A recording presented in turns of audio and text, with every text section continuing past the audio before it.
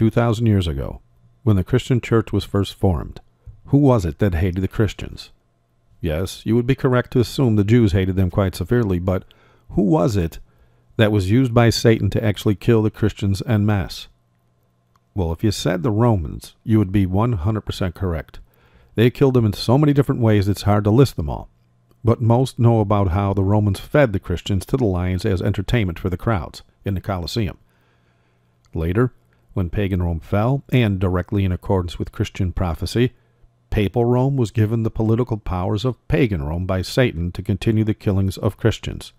It was during the prophesied 1,260 year time period the prophet Daniel predicted that the Roman Catholic Church killed hundreds of millions of Christians. I'm, of course, speaking of the time span between the years 538 AD to 1798 AD, when the prophesied beast in Rome ran rampant across the land, killing innocent men, women, and children simply because they were Christians.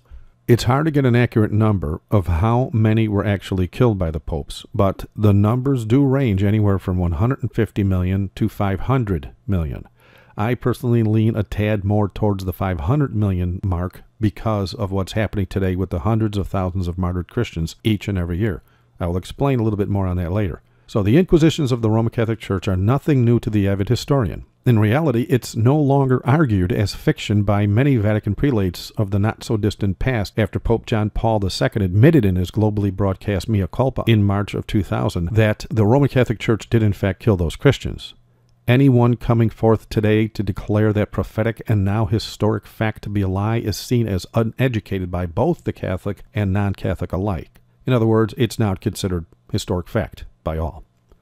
That being said, are there any documented statements from the Vatican after 1798 AD that confirms they never did stop killing the Christians? Well, if you go to my Words of the Beast page, you'll see something pretty interesting here.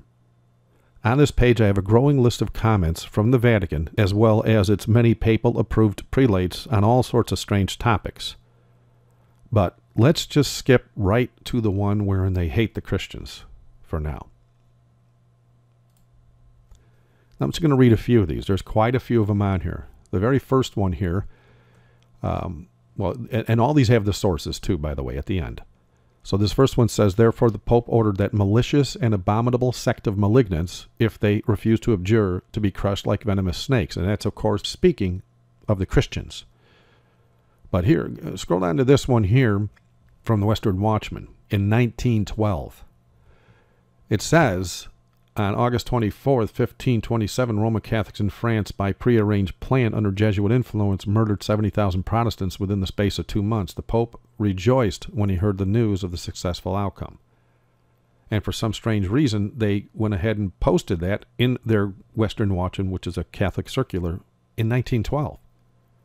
Okay, when you get down here, notice what it says here in 1908 on December 24th. This is clearly way after 1798. It says the Catholic Church has persecuted. When she thinks it is good to use physical force, she will use it.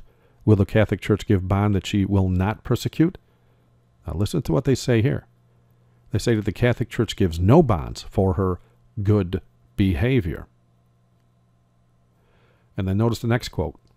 It says the church may by divine right confiscate the property of heretics, and a heretic by Catholic definition is a non Catholic.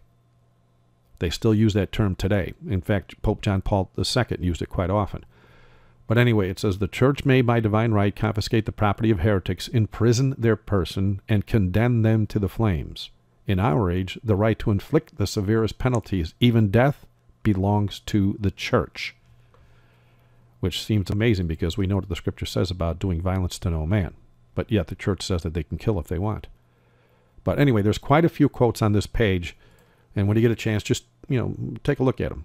Now that I've shared a few of the Vatican comments, I would like for you to see another page on my website. So let's get to the top of uh, this page here.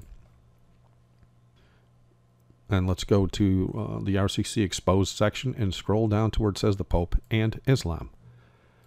On this page, I list numerous articles, videos, and other pages on my site, as well as other websites wherein it has become common knowledge to all that the popes of Rome have been specifically and quite openly working with Islam.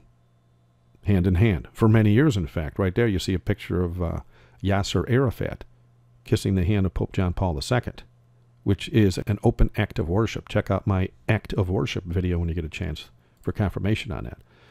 And by the way, just last week, the present Pope visited the nation of Turkey, wherein the leaders of that country greeted him as a long lost friend. Now, seeing how Muslims openly declare their hatred of Christians to the tune of one dead Christian every two minutes of every day of the year for the last decade or so, one has to wonder why the Pope, who claims to be a Christian, survived that meeting with the Islamic leaders in Turkey. But then that's a whole other video. As for the number killed by Rome during the Inquisition, if you do the math, you will see that 500 million dead Christians over the course of 1,260 years comes to about 396,000 dead each year. Nearly 397,000, actually. It's like 396 and 800 and some dead each year. Uh, so Islam right now is killing 200,000 Christians every year. But as we know, the media is under government control in most nations, including the USA. And so the numbers they release and the actual number of dead is no doubt going to be much higher. But there's one more page on the website you need to see that touches on all this. It has to do with the rock hard evidence that the Roman Catholic popes actually wrote the Koran of the present day Islamic faith. And no, they didn't form the original Muslim faith. That was there since Ishmael came of age, who, by the way, was prophesied by the Lord himself to his own mother that he was going to be unable to get along with anybody. But anyway, if you go to the top to the menu here, just go to RCC Exposed again and go down to where it says Pope wrote Quran. All right, now on this page, I of course highlight a video I posted two months ago, right there in the middle, uh, that shows a recent Muslim convert who left the Islamic faith because what he believed to be many Christian doctrines he found in the Quran. What he's unaware of is those doctrines are actually Roman Catholic in nature. They're, they're not Christian. And I share the facts and all that in a video. I also have on this page some links that you might want to take a look at that uh, carry additional information confirming the Vatican wrote the Quran to create the Islamic religion of today so as to have an army of Christian killers at their disposal. The first link on this page was the only source of viable evidence we had for a few years exposing the Vatican Islam connection. It's a PDF file of a testimony from an ex Jesuit priest who was killed for leaking this information about the Vatican creating Islam years ago. You may also want to view the additional video links that touch on this, further locking down the fact that the Vatican is in fact using Islam today to kill Christians, just as Rome has always done. The simple reality here is that because Rome has been exposed as the Antichrist by so many students of prophecy lately, they started a campaign, a worldwide campaign, in fact, not too long ago, claiming Islam was the Antichrist so as to hide their prophesied activity out in the open. Because eventually the cat was going to be out of the bag. With all this activity of Christians being killed and all this evidence against the Vatican being in tune or in line with Islam, they had to make it look like Islam was the prophesied Antichrist.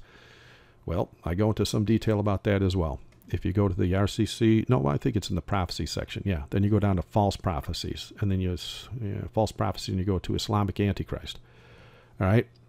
So if you do your homework, study the Christian Bible, and match the prophetic facts in Scripture with historic record, you can do as the prophecy said God's people will do right before Jesus gets here. It says in 2 Thessalonians chapter 2, verse 3, that you will know who the man of sin is in these last days. Just as we now know the Vatican used the civil authorities during the Inquisitions to kill 500 million Christians, and we also have well documented evidence they used Hitler in his day to kill the Jews, we now know they are using Islam right now to kill Christians all around the world. The fact the Pope, who claims to be a Christian, can freely step into a Turkish government complex and still be able to walk out unmolested wherein a real Christian would be brutally beheaded, confirms the prophecy of old. The beast in Rome has always killed and will continue to kill Christians until the king of Christians puts an end to his hellish reign, and that day is very soon in coming. Thank you for watching. God bless.